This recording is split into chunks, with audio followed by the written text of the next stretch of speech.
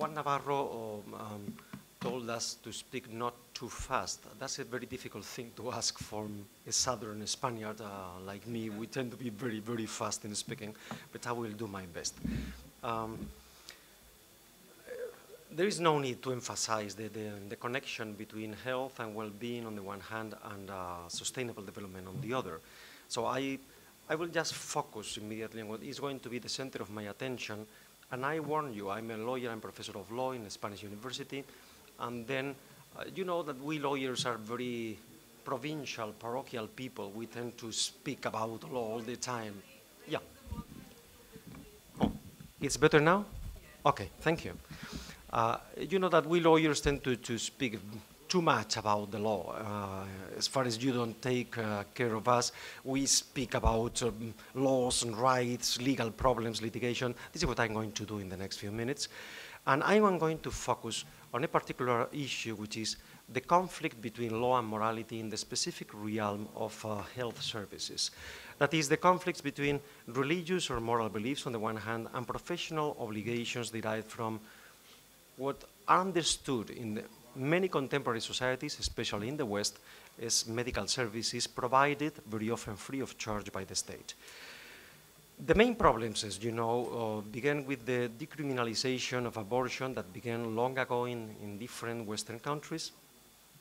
And the things experienced uh, like, like a shift when from a purely decriminalization process or something that uh, the legislators in the West, or sometimes courts, like in the United States, thought that should not be touched by the criminal codes, it passed to be under the flag of reproductive rights, especially the reproductive rights of women, as something that should be included among the health services provided by state. So there was a transition from being a non-punishable act to be strictly conceived legally as a right to a service provided by the state. That was a big jump, but it has been happening in the West all the time. And a similar process we are witnessing today with regard to the euthanasia.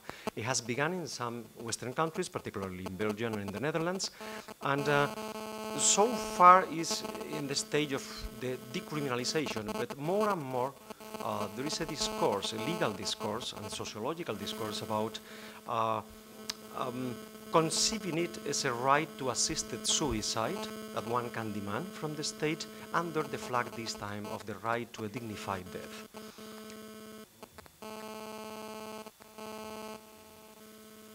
So it's not surprised that from the perspective of medical professions that uh, we have very clear in our minds that they are not just purely technical professions. They have a, every profession has an ethical side, but the, the medical professions, the professions related to, to, to healthcare, uh, this um, ethical dimension is not only particularly visible, it's particularly significant. And uh, is that is, this is the reason why probably the, the, the, what we call the deontological codes of the medical professions are so well developed in all over the world. Because um, uh, medical professionals, they are very aware that the, the, part of their profession is to fight for human lives. So it's no surprise that when they face, many people face uh, physicians, especially gynecologists or nurses, or uh, sometimes pharmacists when it came to the morning after pill, um, they thought that, well, abortion is much more than just a way of contraception. It goes beyond that. And it touches and uh, from a different perspective, euthanasia is the same. It's not just a, a kind of a, how to, to, to, to, finish my life with dignity. We are playing with real human lives, not just with human life in general, it's an abstract concept, but the human lives of real people, individual people. Uh, there is no, it is no surprise also that for the same reason, or for parallel reasons, uh, there have been a number of religiously inspired clinical institutions opposing to these kind of practices. And uh, so this has created the conflict. This so far is the description of the conflict, uh, how it emerged in our culture. And naturally the challenge is what to do with it without trying to necessarily make it conditioned upon our legal judgment on the background issue. I mean, one thing is the conflict of conscience that a person or an institution experiences in the case of being demanded to practice an abortion or euthanasia, if that's the case. And we don't need to, um, in order to, to, to face the conflict of conscience, we don't need necessarily to have one or another position with regard to the substantive issue of should abortion be free or decriminalized or not, or which are the possibilities, or euthanasia. So one thing is the legal solution provided, but instead the different thing is what to do with the claims of conscience which are based on a fundamental right, the right of freedom of conscience. Uh, there is a maximalist position that has been gaining momentum in some particular circles that takes, I, I, call it maximalist because they take a very drastic solution. And the solution is, there is a public service, so you take it or leave the public service. Because if you are a civil servant, you have to, obey, uh, to, to be obedient to the law and what the law provides. And this is a kind of obedience that the people defending this position, which I don't share at all, uh, they claim or they, they, they request a blind obedience to this type of laws. And I think, well, it's curious because the same kind of people that are now arguing that a public servant should be totally obedient to the law and what the state provides or not, they didn't take the same attitudes in other type of problems that also involved human lives, for instance, military services in, in different countries. Or, for instance, when they, uh, when they face the situation of what, what should a public servant or a judge do in cases of countries in which gender equality is not guaranteed, sufficiently or at all. But they take, no, you should be resistant, you should be um, a, a, factor of changing. Now, in this case, instead, sometimes uh, the people supporting the maximalist position, they say, no, you have to obey the law or you are out of the system. You choose because nobody forces you to be a public servant. Nobody forces you to be a, um, a physician or a nurse in a public hospital. You can leave or you can have another type of profession. I, and the same problem is posed with regard to institutions, the private institutions, because in, in many countries, uh, the public health services are, have private institutions as intermediaries. So they provide the public service, but through private institutions, like happens in many countries with education, with private schools. Uh, and then the position is, if you are not willing to provide, that's the most often the case, abortions in your institution out of the religious ethos of your institution, that in that case, we remove you from the list of institutions included in the public health service.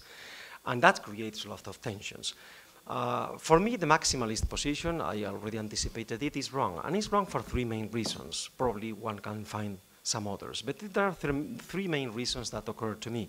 One is, it's based, the maximalist position, in, a, in an extended legal position of health that includes a vague concept of well-being that virtually covers almost everything that a person may want to include in his own legitimate, for the rest, design of its own, his own private life.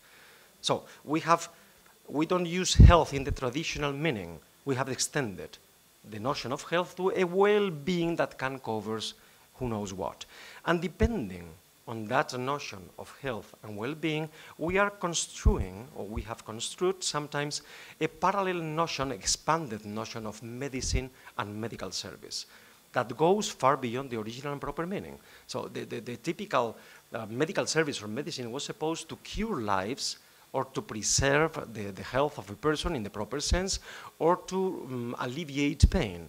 But now, as we extend the notion of health, in parallel, we extend the notion of medicine and medical services. That is a very important factor to take into account because um, I would, I'm not sure, I have um, here, I'm, I'm, lucky enough to have medical practitioners, uh, they will correct me if I'm wrong, but I dare to say that uh, most medical practitioners from different professions, they understand the profession, when they think about health, they understand the term and the term medical service in the proper traditional original meaning, not in this expanded meaning that covers lots of things that contemporary Western states have agreed to include.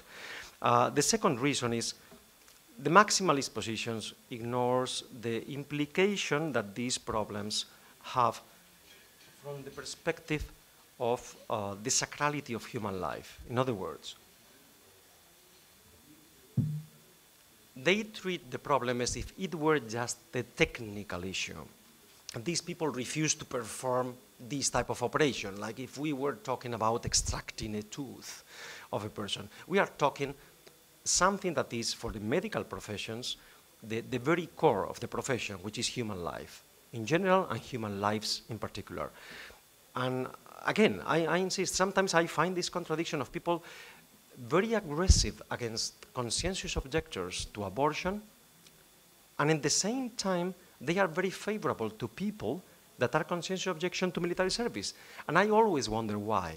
Because both types of objections relate to the same issue, which is I cannot dispose of a human life. That's basically the reason.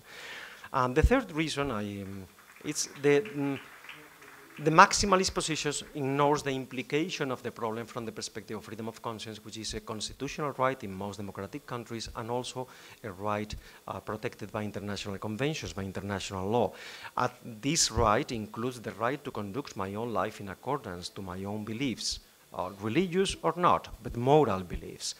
And uh, then uh, by this radical approach or you give up your moral convictions or you are out of the system, we are forcing those people to take a drastic change in their lives. And curiously enough, in a society that is valuing more and more the right to the protection of private life, this aspect of private life apparently is not protected. So very often the, the people support the maximalist position, at the same time they have a very expanded notion of the right to private life in almost everything except religion or moral convictions. That is not part of, of this private life. It is different. In reality, what it implies is a moral impositions of the majority. Laws are normally approved or supported by the majority of the population, and dissidents from these moral views when we, objectors, conscientious objectors, if we leave them aside the system, then it's a kind of moral imposition. You have to agree with our morals because our morals are better than yours. Basically, this is the subliminal message in this type of position, which is the right approach from a perspective, the, to make every possible effort to accommodate the conscientious obligation of medical or health professionals. Uh, the state may legitimately take the approach of making abortion or euthanasia part of the medical public service, but not at the expense of freedom of conscience of medical professionals. The state should imagine, should figure out other means to guarantee the services it, ha it, has decided to provide, but without damaging, which is a constitutional, a fundamental right. Uh, thank you. And uh, is, this is the position, and uh, allow me to read it literally because I think it's quite clear and quite precise. This is the position of a resolution of 2010, the, the resolution to, uh, 1763 of the Parliamentary Assembly of the Council of Europe. I read just the first paragraph. It's a very short resolution, but the first paragraph is particularly interesting.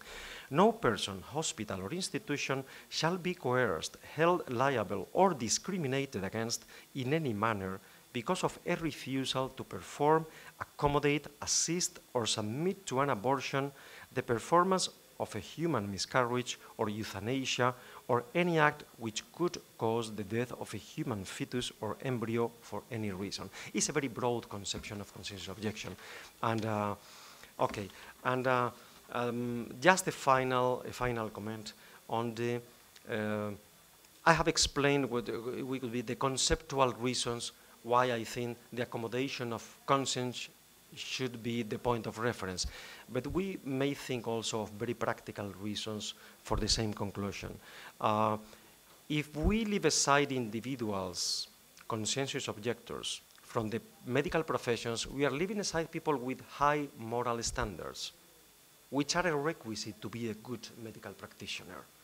We don't want allow me the expression, domesticated medical professionals. We want people with real consciences, with capacity to think by themselves, that inject a serious ethics in their professions. And for the same reason, eh, when it comes to institutions, are we really willing to leave aside to exclude from public health services private institutions religiously inspired just because they oppose on religious or moral grounds to some type of newly conceived medical services, considering that it's estimated that between 30 and 50 percent of global health care is in the hands of private religious institutions? And in Africa or Asia, the figures are much higher. And also, it's not just a matter of the big figures. Uh, consider that many of these institutions reach areas, uh, marginalized areas or marginalized people that are normally more difficult to, to, to reach, to be uh, reached by, by state institutions because they, they get deeper into society. Uh, okay, uh, with this I can finish. Thank you very much.